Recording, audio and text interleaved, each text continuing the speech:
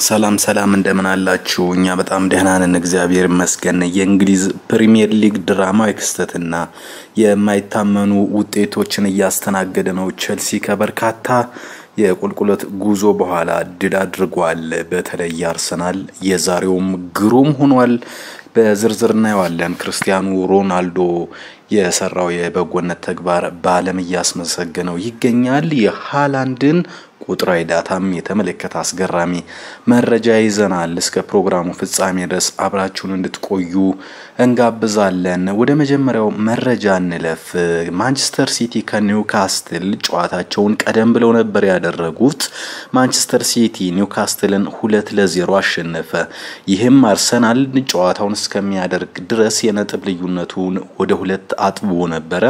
ማንቸስተር ሲቲ ኒውካስትልን ሁለት ለዜሮ ሲያሸንፍ በ15 ኛው ደቂቃ ፎደን በርናንዶ ሲልቫ በሰላሳ ሰባተኛው ደቂቃ ነበር። ይህም እንግዲህ አርሰናል ላይ በጣም ጫና የፈጠረ ነበረ። የሊጉ መሪ አርሰናል ላይ ጫና ያሳደሩበትን ውጤት ያስመዘገቡት ሲቲዎች የኒውካስትልንም ጥንካሬ መስበር ችለዋል። በ26ኛው ሳምንት የእንግሊዝ ፕሪምየር ሊግ ጨዋታ በሜዳው ኢታድ ስቴዲየም የኒውካስትል ዩናይትድን አስተናግዶ ሁለት ለባዶ በሆነ ውጤት ያሸነፈው ሲቲ ለዋንጫው ግስጋሴውን እያጠናከረ አርሰናልንም ጫና ውስጥ እየከተተ ይገኛል። ውሃ ሰማያዊዎቹን አሸናፊ ማድረግ የቻሉ ሁለት ጎሎች ከተቆጠሩ በኋላ እንግዲህ አርሰናል ጫና ውስጥ ሆኖ ነው ወደ ሜዳ የገባው። የፔፕ ጋርዲዮላው ማንቸስተር ሲቲ 26 ጨዋታዎችን በማድረግ 58 ነጥቦችን በመሰብሰብ ከመሪው አርሰናል በሁለት ነጥብ ዝቅ ብሎ ነበር የተቀመጠው። መድፈኞቹ እንግዲህ ከደቂቃዎች በኋላ ከበርንማውዝ ጋር ያደረጉት ጨዋታ እጅግ ድራማዊ በሆነ ክስተት ተጠናቋል። እስኪ ጨዋታ እንዴት አያችሁት? ሀሳብ አስተያየታችሁን አጋሩን። እኛ ግን መረጃውን እንቀጥል። ነገር ግን ያው ውጤቱ አርሰናል አሸንፎ ወደ አምስት ከፍ ብለዋል። ኋላ ላይ በዘንድሮ ውድድር ዓመት ግሩም እንቅስቃሴ እያደረጉ የሚገኙት የዲሃው ልጆች በሊጉ 24 ጨዋታዎችን በማድረግ 41 ነጥቦችን በመሰብሰብ አምስተኛ ደረጃ ላይ ተቀምጠዋል። በቀጣይ የሊጉ መርሃ ግብር ማንቸስተር ሲቲ ከሜዳው ውጭ ወደ ሴልሃርስት ፓርክ በመጓዝ ከክሪስታል ፓላስ የሚጫወት ሲሆን ኒውካስትል ዩናይትድ በሜዳው ወልብስን የሚያስተናግድ ይሆናል። እንግዲህ ዛሬ በጣም አስገራሚው ክስተት የተባለው የአርሰናል ነው። አርሰናል እጅግ ጣፋጭ የሆነ ድል አስመዝግቧል።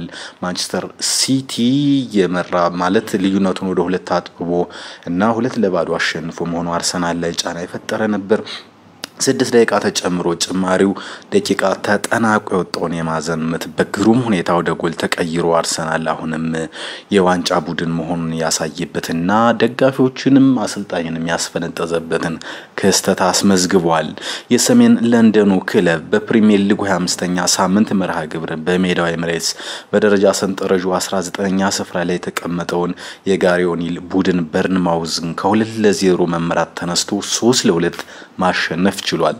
የመድፈኞችን የድል ጎሎች ቶማስ ፓርቴ፣ ቤን በጭማሪ 97ኛው ደቂቃ ተቀይሮ የገባው ሪስ ኒልሰን ከመረብ አገናኝተዋል።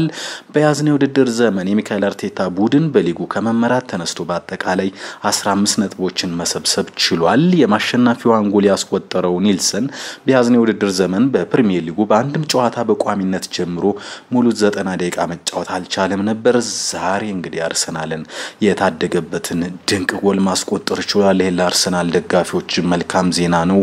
በቃ almost በቃ የደስታ አገላለጻቸው የዋንጫ ያህል አይነት ስሜት ነበር የነበረው። ባለቀ በዘጠና ሰባተኛው ደቂቃ ሶስት ነጥብ ማግኘት ማለት በዛውም ሲቲ እየተከተላቸው ምን ያህል ስሜት እንደሚሰጥ መገንዘብ ይቻላል። አርሰናል ከመምራት ተነስቶ የሚያሸንፋቸው ጨዋታዎች ከፍ እያሉ ነው። ይህኛው ጨዋታ አምስተኛው ነው ከመምራት ተነስቶ ሲያሸንፍ። ይህ እንግዲህ አርሰናልን የስነ ልቦና ጥንካሬና ለዋንጫ ያለውን ግስጋሴ የሚያሳይ ነው እየተባለ ነው።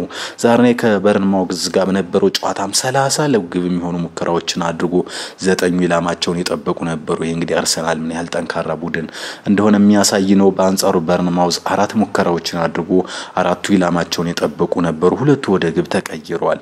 በኳስ ቁጥጥር ረገድ ፍጹም አይጣጣሙም።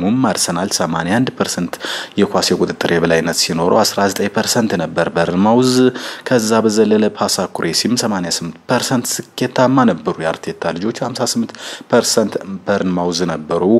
በፋውሎች በዝተውበት ነበር። አጠቃላይ በ14 ፋውል ሲሰሩ ስምንቱ በበርንማውዝ ስድስቱ ደግሞ በአርሰናል በኩል ነበሩ ማለት ነው። ቢጫ ካርድ በርንማውዝ ሁለት ተመዟል። በአርሰናል በኩል ምንም አልነበረም። አርሰናል ለማጥቃት ያደረገው እንቅስቃሴና በሰፊ ልዩነት ለማሸነፍ ያደረገው ጥረትን ከሚያሳዩ ነገሮች አንዱ 17 የማዕዘን አግኝቷል። በአንጻሩ በርንማውዝ አንድ ነበር ማግኘት የቻለው። በዚህ ጫና ውስጥ የተጫወተው አርሰናል እንግዲህ በግሩም ሁኔታ መሪነቱን ያጠናከረበትን ጣፋጭ ድል አስመዝግቧል። ጣፋጭ ድል ነበረ ለአርሰናል ብለን ማንሳት እንችላለን። በ26ኛው ሳምንት የእንግሊዝ ፕሪሚየር ሊግ ጨዋታዎች አስቶን ቪላ ክሪስታል ፓላስን አንድ ለዜሮ ሲያሸንፍ አንደርሰን በራሱ ላይ ጎሏን አስቆጥሯል። ቼልሲ ከሊድስ ወደ ፎፋና ነው ያስቆጠረው። ለቼልሲም እንግዲህ የቼልሲ ደጋፊዎች ግብ አስቆጥረናል በሚል ስሜታቸውን ሲገልጹ ነበረ። ጎሏ ከተቆጠረች በኋላ ደጋፊዎች we scored goal we scored goal we scored goal በማለት ሲያዜሙ ተደምጠዋል። ሰባኛው ደቂቃ ነው ጎሏ የተቆጠረችው። እንግዲህ የቼልሲ አሰልጣኝ በጣም ጫና ውስጥ ነበሩ የነበሩት። ይሄ የሆነው እንግዲህ በተደጋጋሚ ሽንፈት ማስተናገዳቸውን ተከትሎ ከግድያ ዛቻ እንዲሁም ዛሬ የሚሸነፉ ከሆነ በዛው ክለቡን ለቀው እንዲሄዱ ማስጠንቀቂያ ተሰጥቷቸዋል ሲባል ነበር። እፎይታንም ማግኘት የቻሉበት ነው። ቼልሲም እንግዲህ ወደ አሸናፊነት የመጣበት ነው። በጣም በውድ እነ ጃኦ ፍሊክስን እና ኤንዞ ፈርናንዴዝን ጭምር ያስፈረመ ክለብ እንደመሆኑ መጠን ከቼልሲ ብዙ ይጠበቃል። ነገር ግን የአሸናፊነት ስነልቦናው ከተገነባ ቼልሲ ላይ ማንም አይደርስበትም የሚሉ መረጃዎች እየወጡ ናቸው። ለማንኛውም በፎፋና ጎል ቼልሲ ሊድስን አንድ ለዜሮ በማሸነፍ መነቃቃትን የምትፈጥርለትን ጎል አስመዝግቧል። ብራይተን ሶስት ለዜሮ ዌስትሃምን ሲያሸንፍ ማካሊስተር፣ ቬልትማን፣ ሚቶማና ዌልቤክ ጎሎችን ማስቆጠር ችለዋል ማለት ነው። ወልብስ ቶትናምን አንድ ለባዶ አሸንፏል። ትራውሬን ያሸነፈው ይህ እንግዲህ ሊሳካ ያልቻለ የቶትናም እና ሊተነበይ ያልቻለ አቋም እያሳየ ይገኛል። ቶትናም ዛሬ የተደረጉ ጨዋታዎች ናቸው።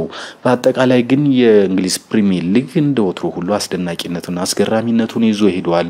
ሲቲ ዛሬ ማሸነፉን ተከትሎ የሃላንድ ጉዳይ አስገራሚ ነው እየተባለ ነው። ግዙፉ አጥቂ ሃላንድ በሲቲ ቤት እየተወጣ ያለው ሚና ከግብ አስቆጣሪ በላይ እንደሆነ እየተመለከትን እንገኛለን። በ24 የእንግሊዝ ፕሪሚየር ሊግ ጨዋታዎች 27 ጎል ያስቆጠረው ኖርዌያዊ ተጨማሪ አምስት ግብ የሆኑ ኳሶችን አመቻችቶ አቀብሏል። ሌላኛው ኖርዌያዊ ማርቲን ኦዲጋርድ በ24 ጨዋታዎች ስድስት አሲስቶችን ያስመዘገበው የሃላንድ ጉዳይ እጅግ መነጋገሪያ እየሆነ ነው። ድንቅ ብቃቱንም እያሳየ ይገኛል። የሲቲ squad ከጠንካራነቱም በላይ ነው። ለእነዚህ ደግሞ ጎል በማስቆጠር ረገድ የሃላንድ ሚና ትልቁ ነው። ነገ ሊቨርፑል ከማንቸስተር ዩናይትድ የሚጠበቅ ጨዋታ ነው። እንግዲህ ጨዋታ ምናልባትም የተተነበየው ማንቸስተር ዩናይትድ ሁለት ለአንድ ያሸንፋል ብሎ ነው። ክሪስ ስቶን የሳምንቱን ታላቅ ጨዋታ ነገ ምሽት አንድ ከሰላሳ እናያለን። የዚህን ጨዋታ ግምት እስኪ አጋሩን። ዩናይትድ በ FA Cup በዌስትሃም ሲፈተን አሰልጣኝ ኤሪክ ቴንሃግ ካዚሚሮና ራሽፎርድን ቀይሮ ካስገቡ በኋላ ጨዋታውን ተቆጣጥረው ማሸነፋቸው ይታወሳል ብሏል። በዩናይትድና በሊቨርፑል መካከል ያለው ልዩነት ይህ ነው። ዩናይትድ ጨዋታ መቀየር ይችላል። ሊቨርፑል ግን በተለያዩ ምክንያቶች ጥሩ የውድድር ዘመን የለውም። ስለዚህ ማንቸስተር ዩናይትድ ሁለት ለአንድ ያሸንፋል ብሏል ገማቹ ማለት ነው ክሪስ ስቶን። በነገራችን ላይ የቼልሲን ከሊድስ በትክክል ተንብዮ ነበር። እውነት ለመናገር ምን አይነት ውጤት መገመት እንዳለብኝ ከማላውቃቸው ጨዋታዎች መካከል አንዱ ይህ ነው ብሎ ነበረ ከሊድስና ቼልሲ መካከል የተካሄደውን ስቶን።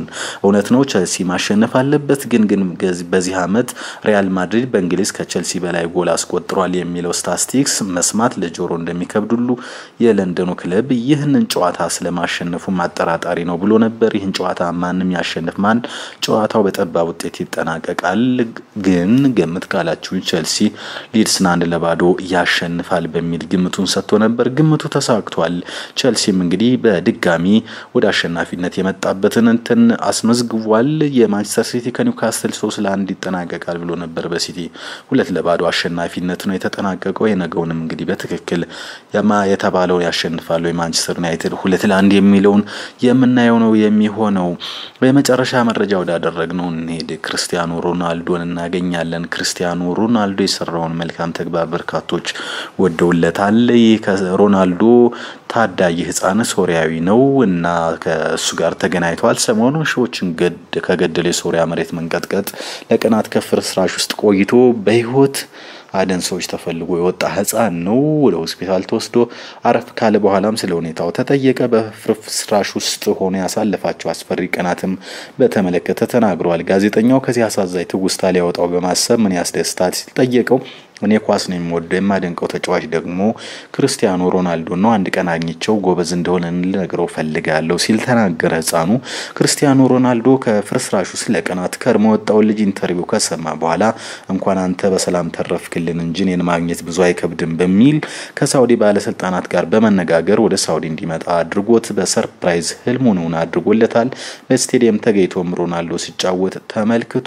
አጠቃላይ ኑሮም በሳውዲ እንዲቀጥል እንደሚደረግም ይህን ጉዳይ ያመቻቹት የሳውዲ ባለስልጣናት ተናግረዋል። ክርስቲያኖ ሮናልዶ በርካታ ድጋፍ ለሶሪያ ህጻናት ከዚህ በፊት በየመንም እንደሚያደርግ ይታወቃል። እንዲህ አይነት በጎ ተግባራትንም ሲሰራ ይህ የመጀመሪያው አይደለም። ለማንኛውም ትኩስ ስፖርታዊ መረጃዎችን ወደ እናንተ አደረስኳችሁ። like፣ share፣ subscribe በማድረግ ሌሎች መረጃዎችን እንድታገኙ ጋብዛለሁ። የአሁኑን አበቃሁ። መልካም ጊዜ። ቻው ቻው።